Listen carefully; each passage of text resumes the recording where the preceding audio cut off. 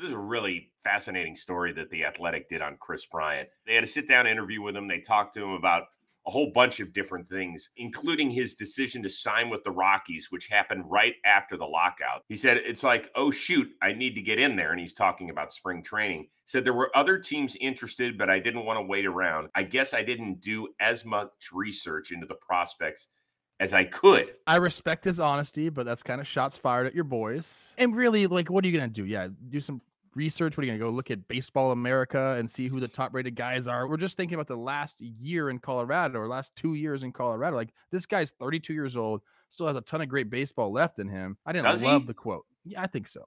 100%. Really? Because I think that if most, I think if you were to ask people about Kris Bryant's career, I think if he gets anywhere close to what he was in Chicago, people would be borderline shocked.